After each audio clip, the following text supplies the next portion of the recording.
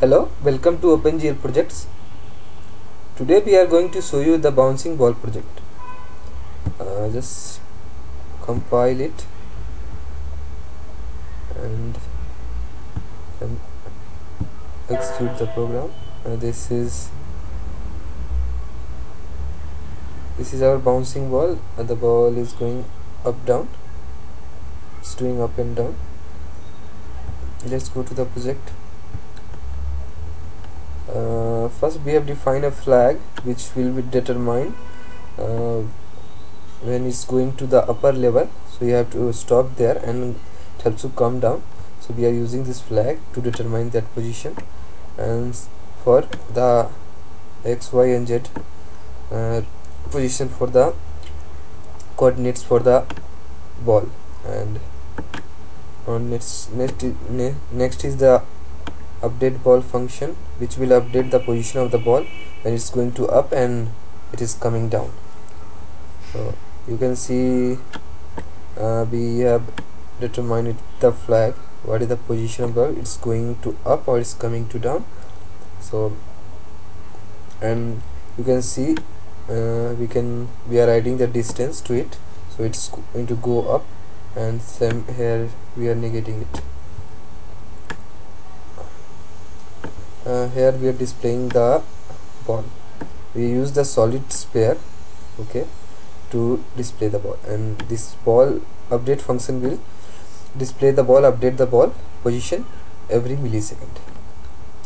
Uh, rest are just the common function which you use in every OpenGL program. Okay let's uh, okay. Two things we will change in this now. Um, first this background so this is red background I will convert it this into green okay so, so ground can be converted background can be converted with this uh, GL clear color so just go to 0 and convert this uh, not the blue we need uh, RGB so green. And yeah. And now convert this blue to say some ball color to something here is the ball color. Say um, RG so it should be yellow. And let be yellow color.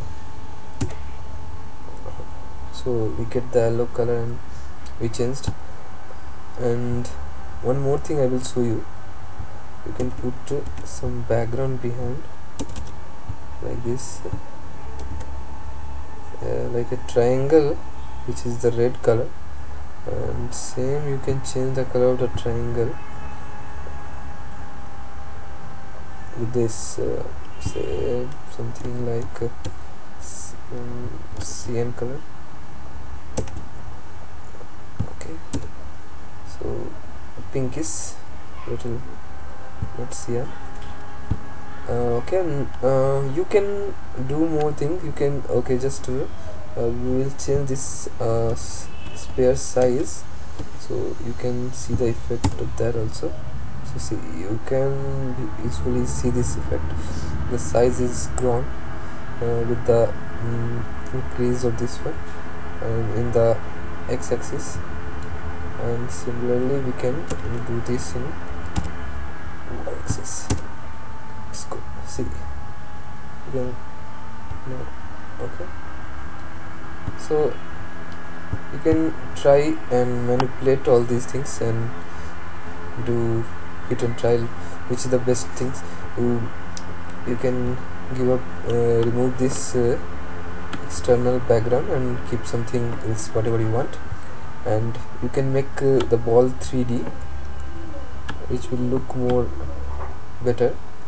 As well as you can try some keyboard function which will allow it to go up and allow it to go down and you can uh, try to convert this program in some in user interactive.